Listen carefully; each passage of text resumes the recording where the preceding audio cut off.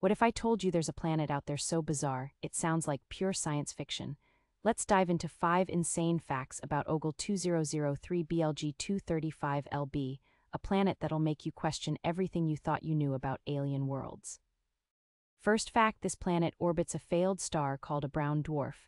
Imagine a sun so weak it barely shines, yet this planet survives in its dim light.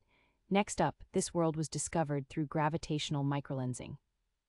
That means astronomers saw its host star bend light from behind it, revealing a hidden planet in a cosmic game of peekaboo. Fact 3 This planet is a gas giant, but not like Jupiter.